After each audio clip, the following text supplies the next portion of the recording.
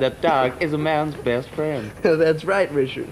And to celebrate man's special close relationship with dogs, we, the band Gorky Zygotic Mynci, decided to write a song in tribute to man's best friend.